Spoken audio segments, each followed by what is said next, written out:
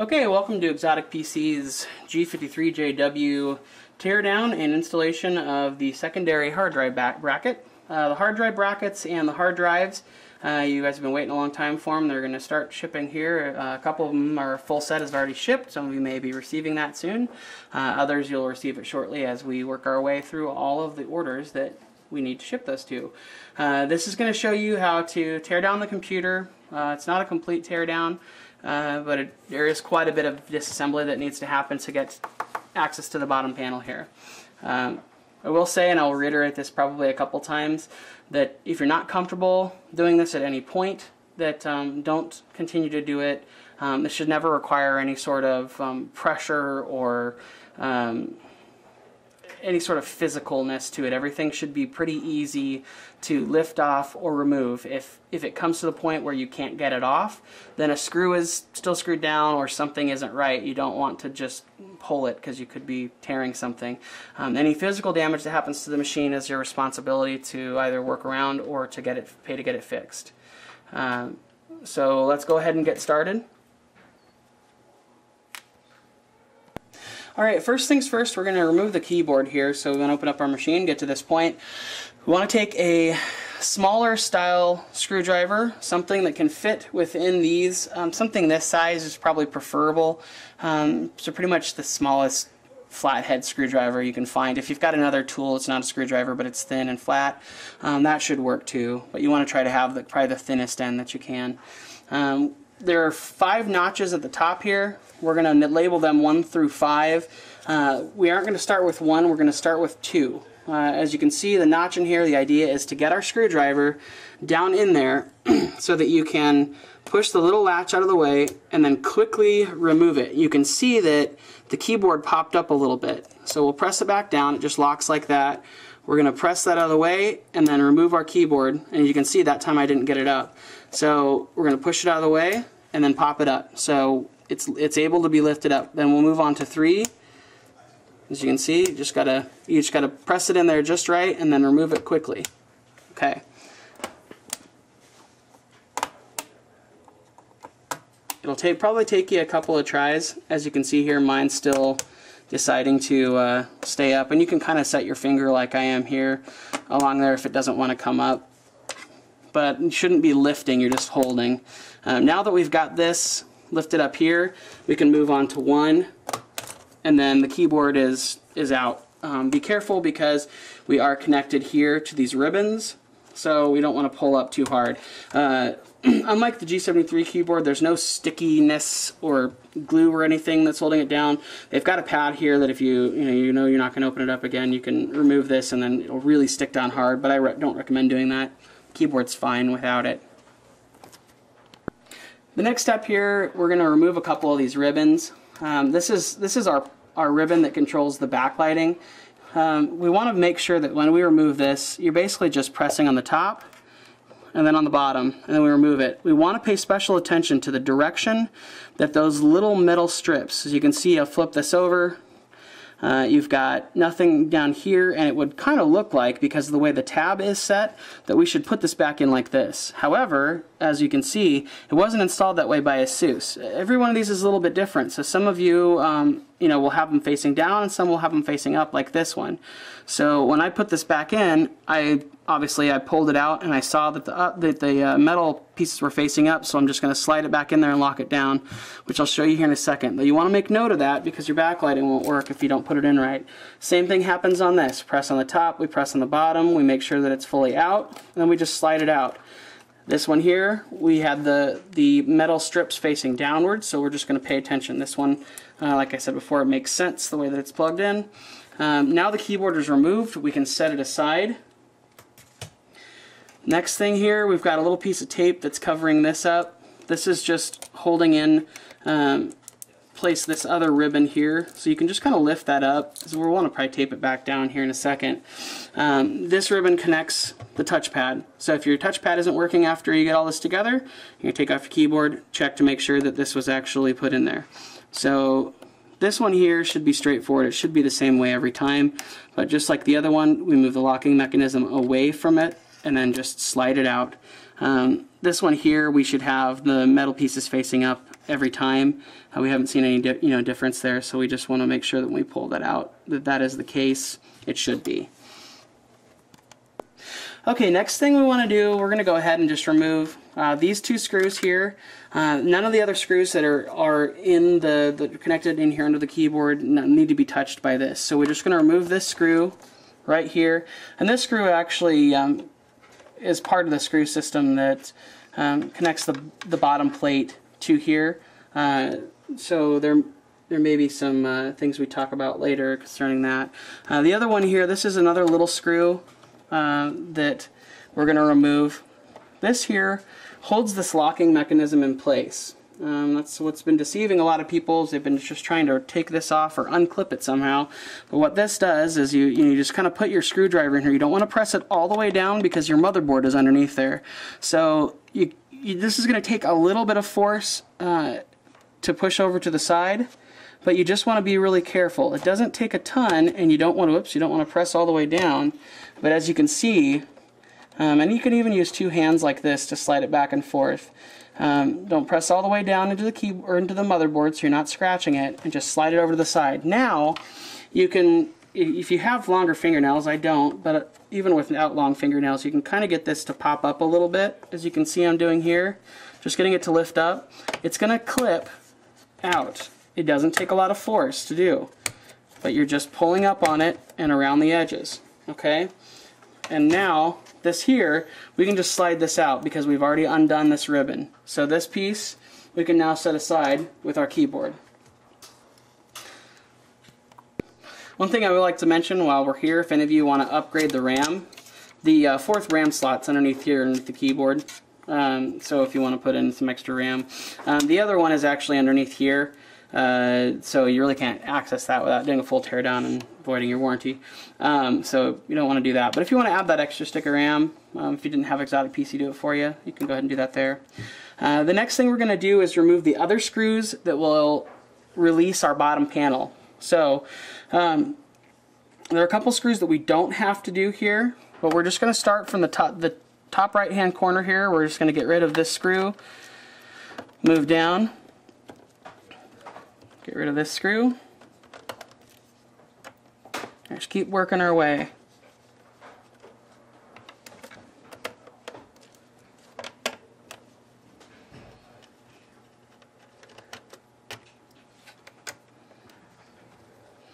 Now there are a couple screws that hold down the hard drive bays and those don't need to be removed. This is one of them, and this is one of them. Uh, you can remove them, um, but it kind of releases your hard drive uh, brackets a little bit, so you don't really need to, or you probably shouldn't. Uh, we'll just so we'll skip these two, move on to the next.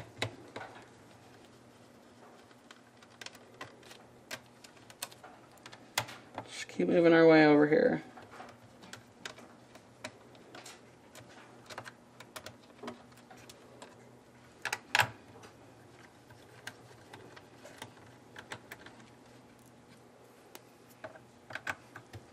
Okay, the screw that's right here is our final screw.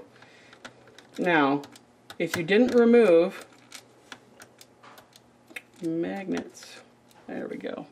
If you didn't remove this screw up here in the beginning, um, that could be the reason why this panel isn't going to open up for you very well. So the screws that hold down the panel are this up here. We've got that one, that one, this one, here. Here, we skip these two and then move on as we go over here. Now we can set our screws aside and we'll close our lid, flip over the computer, and now you'll just take, you can see it's already kind of lifted up for us a little bit, so you don't have to use the screwdriver to pop it up if you can get your hand underneath there. But this again is just going to gonna kind of unclip itself. It will take a slight bit of pressure to do, but if it all it does not come up easily, that means that you have a screw still in there somewhere. It should just lift off like that. And now we've got access to the belly of our machine for RAM upgrade, Wi-Fi card upgrade, and where we're going to put our secondary hard drive. Okay, the next thing we're going to go over is um, if you if you, your machine might, or your your bracket and hard drive might already come assembled from XOTIC PC. If you were sent your hard drive first and we're just sending you your brackets now, you'll need to do this step. Um, otherwise, those of you who already have it together can move on a little bit. Um, we're going to be putting this in the left side. As you can see, these brackets are labeled um, connection left, connection right. Um, they're universal brackets that could be worked for either side. We're going to be putting in the left hand side, so we want to make sure that our SATA connector like this is facing connect left and they've labeled each of these little screw holes here with L's and R's for us. So we just want to line up our side screws here with the L. Uh, XOTIC PC will also include whoops, four screws for you uh, to place into the sides. So we're just going to line up with the L and then we're going to put their little fatter screws that look like this. You would have gotten also a tinier, thinner screw that's, that we're going to use here in a second, but you've got four equal screws to this. So we're going to go ahead and place our screws in the bracket here.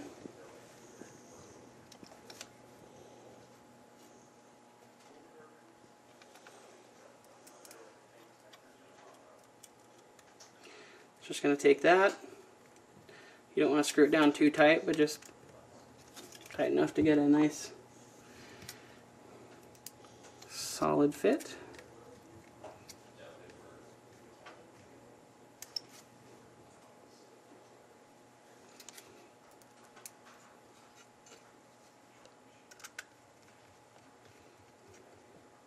Okay, now we've got that set, we're going to line up our SATA connector with this side here, left facing the piece. This here will help us slide it in.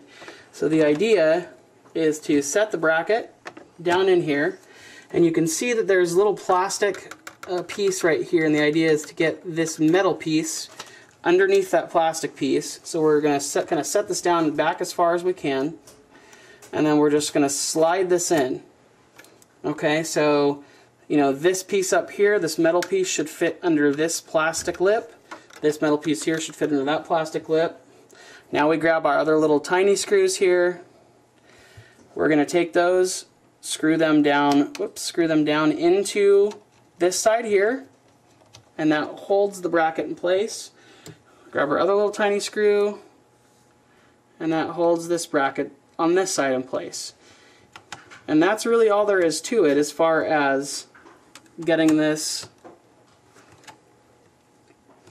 put in. So if that's the only goal that you had here, you're not upgrading RAM, Wi-Fi, or anything else, we can start closing up. Okay, so the next thing we're going to do here, we're going to put our little guy back on here. One thing we will say is they put some stabilizers on here, these foamy pieces, and for the time being, until we screw it back down, that's going to cause uh, this lip here, this piece, to, to kind of flip up a little bit. Um, and this isn't necessarily the easiest thing to get cooked back in, but once again, it doesn't take a lot of pressure. If you're not, once again, you're not comfortable doing this, uh, we can arrange to have it shipped to XOTIC PC to be done. You can talk to someone in sales or service about that. Uh, so we're just going to kind of fit this top piece in first. You can see there are places that each of these little clips will fit into. We're going to kind of set those in place, and then we just set it down. And you're just going to slowly, you know, kind of press yourself here you kind of press on the front here to, to get these little pieces to clip down into place. Same thing here. So once you think you've kind of got it all clipped into place, remember this side's gonna gonna flip up a little bit until you get it screwed down. Okay? But I promise once it's screwed down, then it's then it's in place. So we just want to get it all in there, and it's gonna kind of come up. So you might want to hold it down as you set it down. Then we're just gonna lift up here. And then we'll start with the right hand side here. And we'll just do these here, for, these here first. We're just going to screw those down. Don't over tighten, don't under tighten, just tighten it just enough to where you feel some resistance.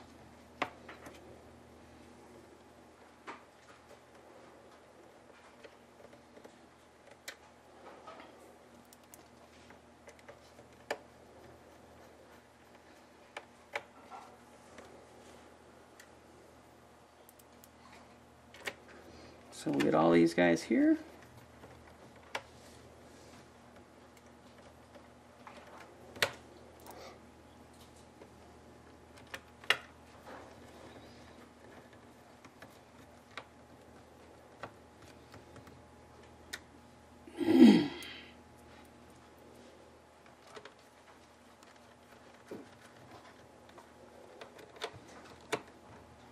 And if you did take these out, you want to make sure you put them back in now. Um, but hopefully you didn't take those out. Hopefully we skipped over those.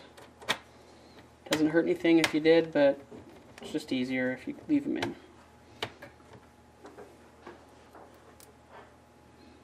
And after we screw these down, we're just going to want to double check before we close up to make sure that everything looks okay underneath, that we got everything clipped down in, that everything is tightened. So we'll just go ahead and lift it up now. Take a quick look at it. We want to just check around all the edges to make sure that everything is kind of pressed down. And as you can see, we no longer have it lifting up there. It's screwed down and everything looks pretty good here. Um, you can just see how it's supposed to look. Um, obviously there's going to be that little line there all the way around. Um, mine here looks looks pretty good. If, if yours is lifted up in any way, uh, any of the edges, you didn't get it clipped down in there correctly, you just want to go ahead and remove all of your screws again and then um, uh, just reclip it back down and rescrew it in. Now we'll go ahead and put this screw here back into its place. Remember this was the final screw that holds down the bottom plate. It was the first screw that we removed. We'll put that in. We want to make still make sure that this little guy here, this hole is all the way to the left because now we're going to grab our wrist plate and then we're just going to slide this little piece here through the bottom right here.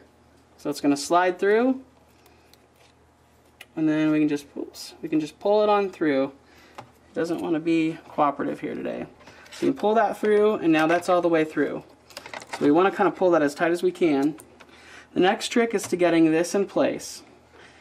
It kind of sets down and then kind of sits back in here first.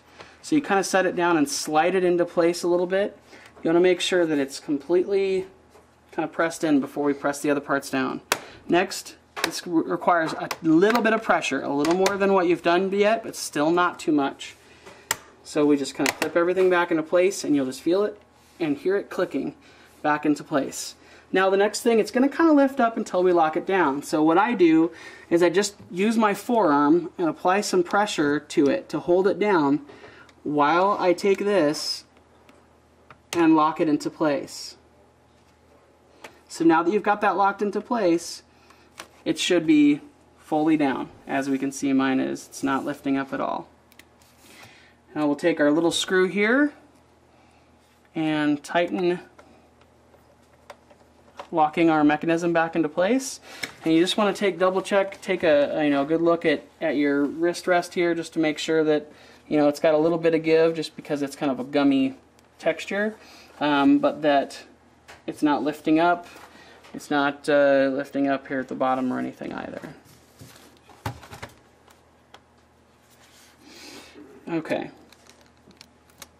Okay, now that we've got that plate on there, the next thing we're going to do is get this back into place. So we want to make sure, just kind of lift it up out of the way here, we want to make sure that both of our little clips here are forward as far as they can go in the unlocked position.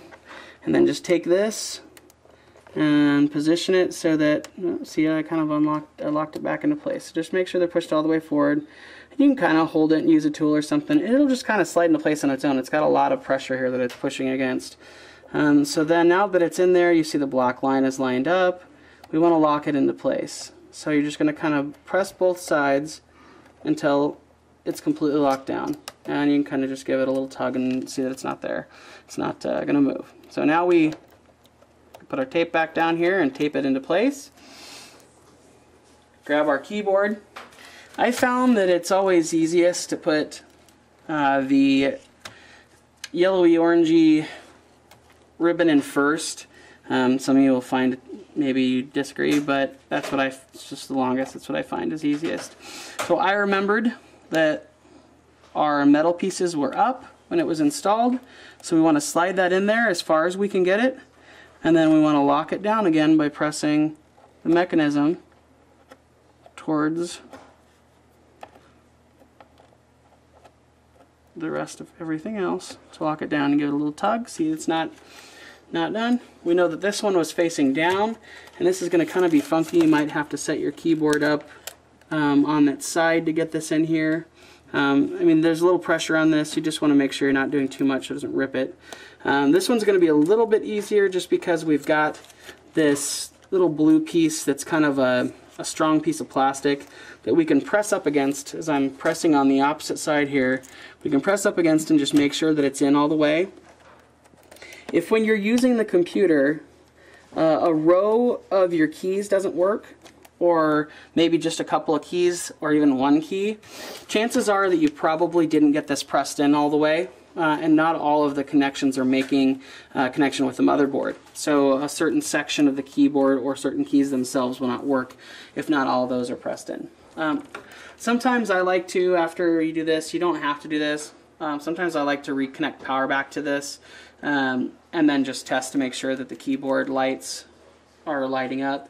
Um, this is a, a, brand new machine. It doesn't have anything installed on it yet, or it's not running. Um, so in your case, it'll be a little easier and faster to do that.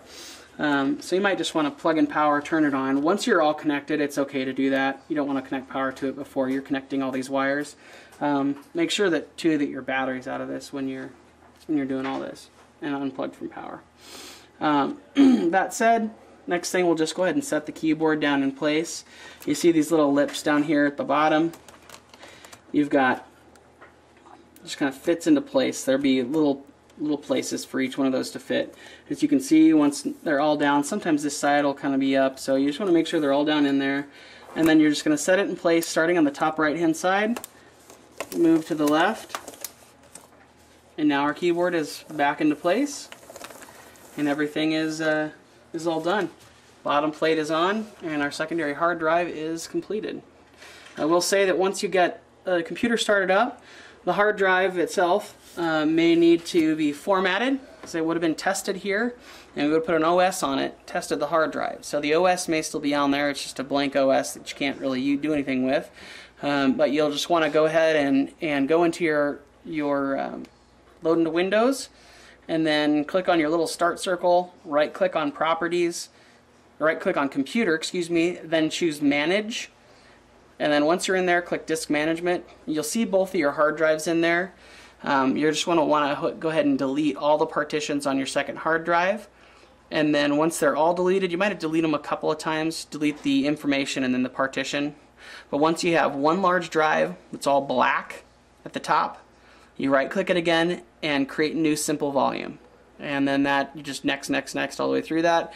Now you've got it working. Um, sometimes you also have to turn, make sure that it's turned online if it was turned offline uh, by your, your SATA controller. Uh, there's two little boxes that you'll see, a little box that tells you what disk it is. You're going to want to right click on that box and turn it online if it's offline. Uh, if you have any other questions about this, or if you're not comfortable doing it, you can just email into our service department at service at xoticpc.com. We'll happily answer any questions that you have. Um, it's going to be easiest and fastest probably to email in your questions just due to the amount of uh, phone calls and emails that we'll be receiving about this. We are sending out quite a number of brackets. Um, so if you, uh, once again, if you have any questions, just let us know. I'll reiterate again, if you don't feel comfortable doing this, please don't do it. Just contact us and we'll work it out so that uh, we can do it for you. Okay? Uh, thank you for watching our video and good luck to everyone doing this.